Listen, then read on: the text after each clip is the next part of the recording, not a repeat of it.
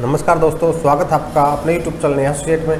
दोस्तों, बहुत सारे फ्रेंड्स की कमेंट्स और क्वेरी आ रही है एस्टेब्लिशमेंट डीएक्टिवेट की। अगर आप अपनी कंपनी का ए का बेनिफिट ले रहे हैं और आपकी कंपनी डीएक्टिवेट हो चुकी है तो आप उसको कैसे एक्टिवेट करवा सकते हैं? डीएक्टिवेट होने का क्या रीज़न है? मैं इस वीडियो में आपको पूरा बताऊँगा। आप कैसे अपनी एस्टेब्लिशमेंट को एक्टिवेट करवा सकते हैं और आपको उसका बेनिफिट नहीं मिल रहा है। अगर आपके एस्टेब्लिशमेंट एक्टिवेट है अपने मेंबर भी स्टडी किए हुए हैं तो भी आपको उसका बेनिफिट क्यों नहीं मिल रहा है? इसके बारे में मैं आज आपको बताऊँगा। अगर आपने सितंबर मंथ का किसी भी प्रकार का, चाहे वो ईपीएफ कंट्रीब्यूशन का हो ईपीएफ एरियर का हो, या आपने डैमेज और इंटरेस्ट का चलान 15 दिसंबर के बाद पे किया है तो इसके कारण आपके एस्टेब्लिशमेंट डीएक्टिवेट हुई है। अगर दोस्तों, अगर आप पेमेंट करना चाहते हैं तो आप सितंबर मंथ का कॉन्ट्रीब्यूशन ना डालें। यानी कि सेप्टेम्बर मंथ का कोई भी आपका एरियर छूटा हुआ है, आपका डैमेज और इंटरेस्ट है, अभी आप उसको पे ना करें। ई डिपार्टमेंट के पास काफ़ी कंप्लेन आ रही हैं कि हमारे एस्टेब्लिशमेंट डीएक्टिवेट हुई है। तो हो सकता है वो अपने सॉफ्टवेयर को अपडेट कर दे। अगर आपका कोई भी कॉन्ट्रीब्यूशन का चलान आपने पे किया है, या आपने कोई भी एरियर या कुछ भी पे किया है तो आपकी एस्टेब्लिशमेंट उसके कारण से डीएक्टिवेट हुई है। और आप उसको एक्टिवेट कैसे कर सकते हैं? दोस्तों एक्टिवेट करने के लिए आपको अपने रीजनल ईपीएफ ऑफ़िस यानी कि जो भी आपके रीजनल ईपीएफ ऑफ़िस की मेल आईडी है, उस पर आपको कुछ डॉक्यूमेंट सेंड करने हैं और सेम डॉक्यूमेंट अपने इन्फोर्समेंट ऑफिसर यानी कि आप अपने ईपीएफ इंस्पेक्टर को दे सकते हैं और उसके साथ आप अपने एस्टेब्लिशमेंट को एक्टिवेट करवा सकते हैं। दोस्तों डॉक्यूमेंट कौन से सेंड करने हैं? सबसे पहले आपको अपने ईपीएफ के, यानी कि ईपीएफ की साइट की आपको स्क्रीनशॉट की कॉपी लेनी है, जहाँ पे आपके एस्टेब्लिशमेंट डीएक्टिवेट दिखा रही है।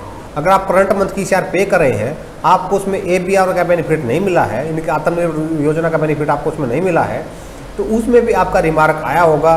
उसमें आपको ई e के सबसे लास्ट में इनके ई e के फ्रंट पेज के सबसे लास्ट में आपको ए बी आर वाई का रिमार्क आपको मिल जाएगा। आपको वहाँ पे उसका रीज़न भी मिल जाएगा।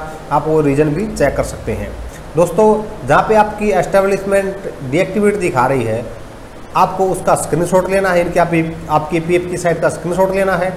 आपको करंट मंथ का, यानी कि जिस मंथ में आपको उसका कंट्रीब्यूशन नहीं मिला है इनके कंट्रीब्यूशन का आपको बेनिफिट नहीं मिला है, आत्मनिर्भर का बेनिफिट नहीं मिला है, उस कंट्रीब्यूशन का आपको चलान की कॉपी लेनी है, आपको ई के फ्रंट पेज की कॉपी लेनी है, आपको अपने सेप्टेम्बर यानी कि सेप्टेम्बर 2020 का जो आपने कॉन्ट्रीब्यूशन पे किए थे, चाहे वो आपका एक कॉन्ट्रीब्यूशन हो, एक चलान हो, चाहे आपके चार चलान हो, कितने भी चलान हैं आपको उनकी कॉपी वहाँ पे साथ में लगानी है और आपको अपना डिक्लेरेशन की कॉपी आपको उसके साथ में लगानी है। दोस्तों, ये सभी डॉक्यूमेंट आपको अपने रीजनल ऑफ़िस की मेल आई डी सेंड करने हैं और आपको अपने इन्फोर्समेंट ऑफिसर को आप अपने इन्फोर्समेंट ऑफिसर से मिल सकते हैं। आप उसे मिल के अपने डॉक्यूमेंट दिखाएँ। हो सकता है वो आपके एस्टेब्लिशमेंट को एक्टिवेट करवा दे और आपके एस्टेब्लिशमेंट एक्टिवेट हो जाए तो इसका बेनिफिट आपको फिर से मिलना स्टार्ट हो जाएगा।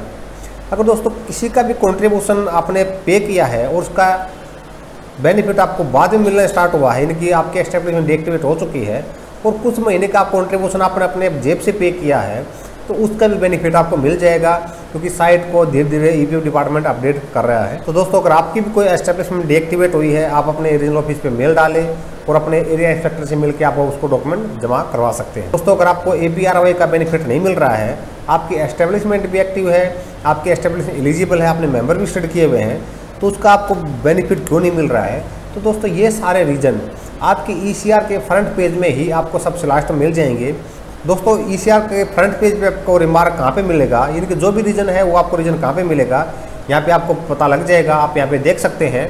तो आप अपने ई e के फ्रंट पेज के, यानी कि जहाँ पे सबसे नीचे ए आर बी वाई का रिमार्क ऑप्शन है, वहाँ पे उसका रीजन मिल जाएगा।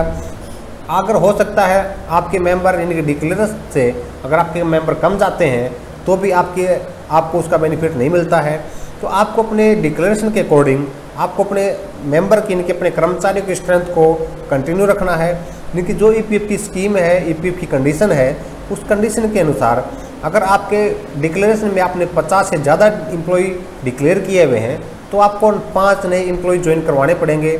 अगर आपने अपने डिक्लेरेशन में 50 से कम इम्प्लॉई वहाँ पे मेंशन किए हुए हैं। दोस्तों, अगर आपको पहले उसका बेनिफिट मिला था और अब आपको उसका बेनिफिट नहीं मिल रहा है तो इसका रीज़न यही हो सकता है कि आपके एम्प्लॉय की स्ट्रेंथ वहाँ पे कम हो चुकी है, आपके डिक्लेरेशन के अकॉर्डिंग आपके एम्प्लॉय की स्ट्रेंथ वहाँ पे मेंटेन नहीं है। आप अपने कर्मचारी की स्ट्रेंथ को मेंटेन करें और आप अपने ए आर स्कीम का वहाँ पे बेनिफिट ले सकते हैं।